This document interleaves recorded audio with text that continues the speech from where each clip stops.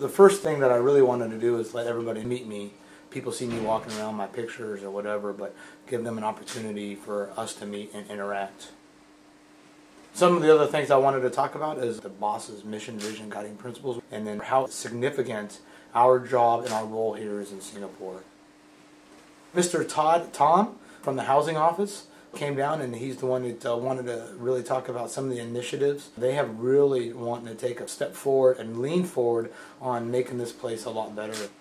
But then I want to give everybody an opportunity to ask questions and then talk about some uh, issues that are near dear to my heart, which is quality of life of our sailors. So housing, MWR programs, single sailor programs, the, the community as a whole, and then of course safety in this region. That's kind of what I wanted to focus on.